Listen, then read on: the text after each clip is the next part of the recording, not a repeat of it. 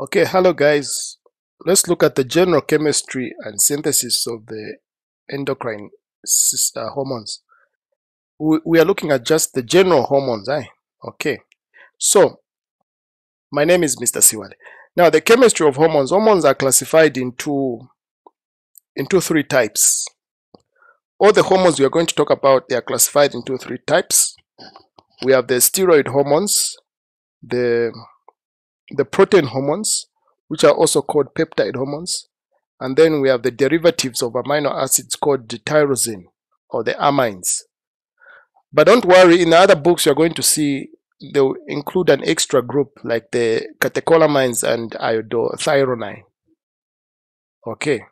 But you'll find that, like, for example, the catecholamines, the major common thing here is tyrosine. So they can be classified under these. Then when you look at the iodothyronine, there's also a tyrosine moiety there. So you find that we can also include them in this classification.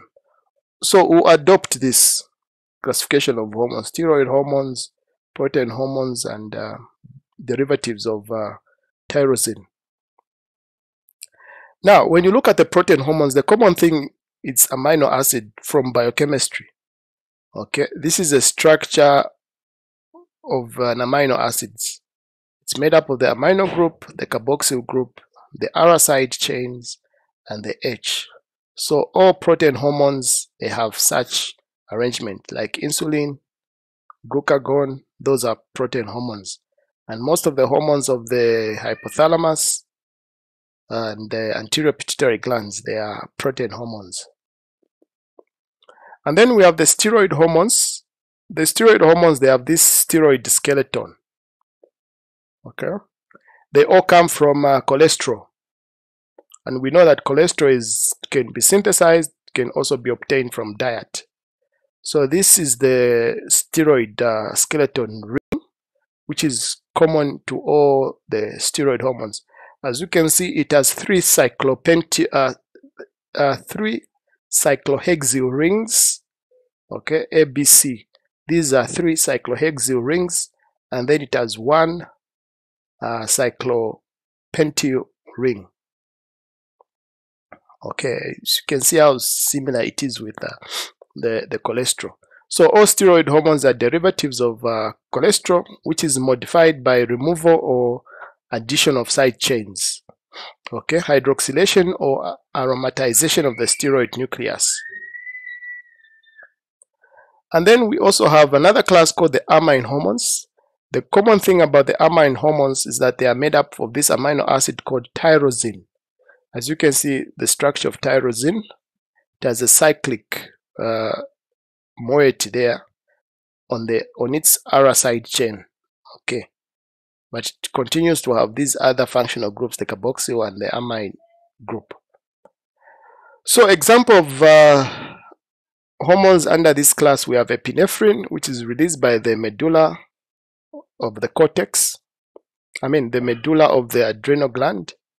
And then we also have dopamine and then no, epinephrine. Okay. So these are, you can see they have the common uh, tyrosine structure here. So all these, they belong to the amine hormones.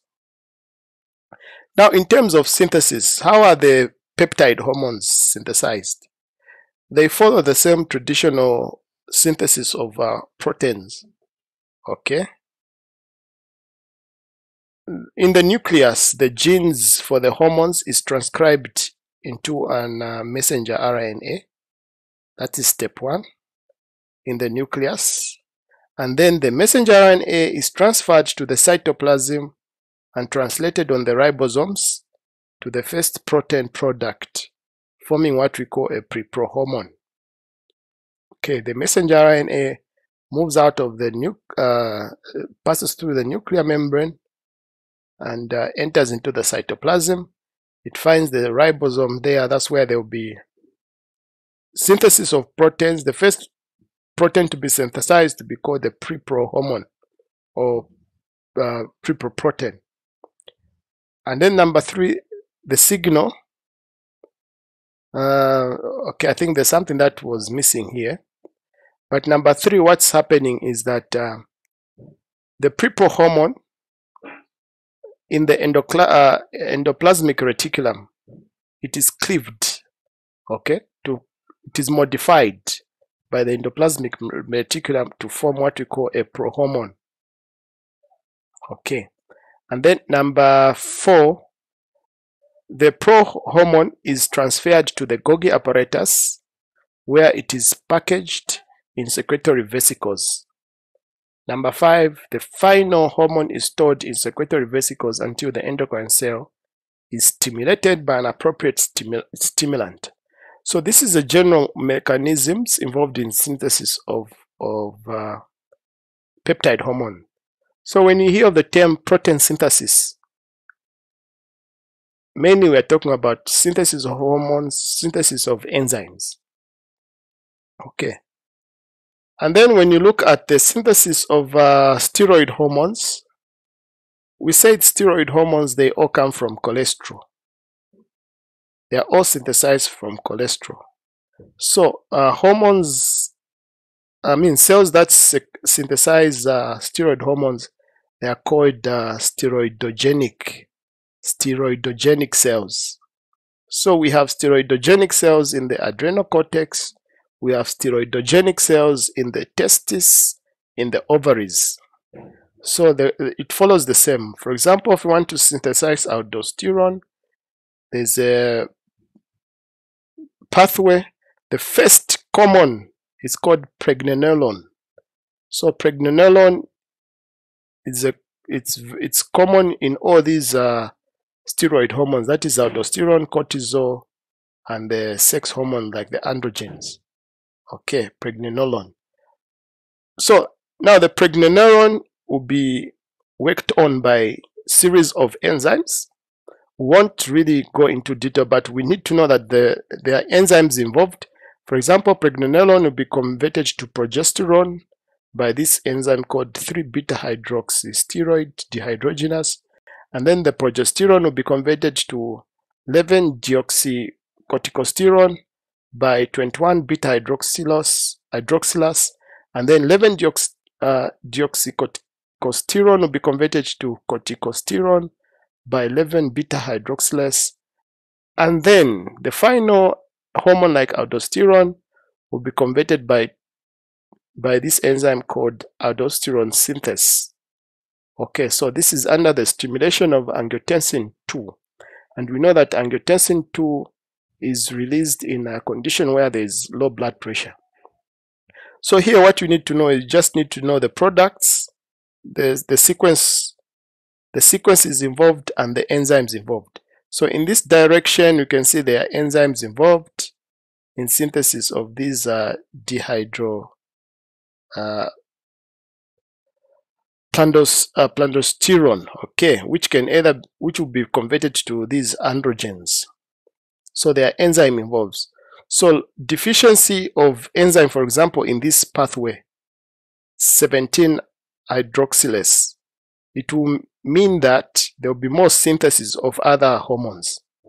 Okay, there will be more synthesis of other hormones.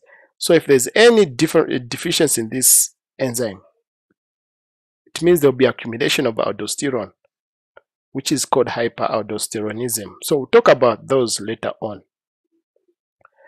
And then the biosynthesis pathway for catecholamines, we say the common thing is tyrosine. The enzyme tyrosine hydroxylase converts it to L-DOPA, and then the L-DOPA is converted to dopamine by dopa decarboxylase, and then the dopamine is converted to no, norepinephrine by dopamine beta hydroxylase, and then no, norepinephrine it is converted to epinephrine by the uh, phenylethylamine methyltransferase. So even here, there's it's a series of enzymes. Okay, so this is a synthesis of uh, of uh, uh, these catecholamines. So this is what is this is the way dopamine is synthesized. This is the way no epinephrine is synthesized. This is the way epinephrine is synthesized. So dopamine is the first thing that is synthesized. It can be converted to norepinephrine. It can be converted to epinephrine by enzymes. So on this uh, right side, we have degradation. Okay, so degradation, these are degraded into various acids. Okay, we'll, we'll not talk about this later on.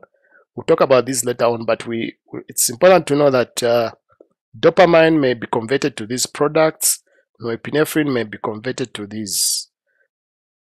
And this can be measured in even in uh, body fluids such as urine, which is a very important uh, measurement to assess the levels of these uh, uh, catecholamines. And then the synthesis of thyroid hormones. Thyroid hormones are synthesized from uh, what we call the follicular cells. They need iodine in their synthesis. In their synthesis.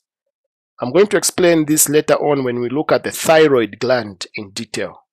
But it's just important to know that synthesis of thyroid hormones requires iodine. Okay? Requires what? Iodine. So thyroid gland contains a number of spherical structure called follicles.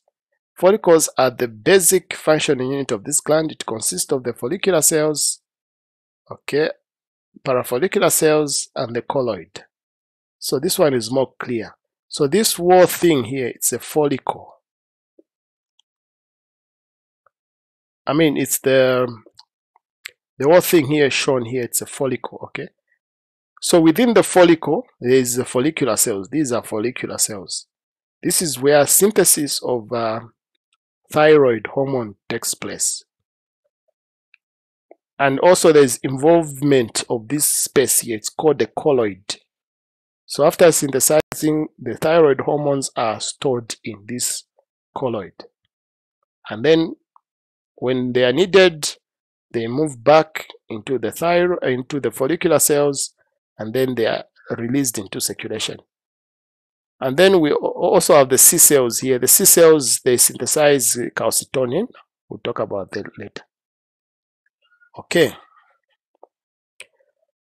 So actually I'm done so this is basically how synthesis of thyroid hormones takes place We've looked at how biosynthesis pathway for catecholamines take place. That the common thing is tyrosine converted to dopamine, norepinephrine, epinephrine. epinephrine. So there are just series of enzymes involved. If you want to remember, you need to form a, a mnemonic, which is very important. Steroid hormones also. In this pathway, these are the enzymes involved to synthesize mineralocorticoids such as aldosterone, and in this direction these are the enzymes involved. In this direction these are the enzymes involved just like that. And then we said deficiency of any of these enzymes will cause accumulation of other products or other steroid hormones. Okay so thank you very much. We'll end here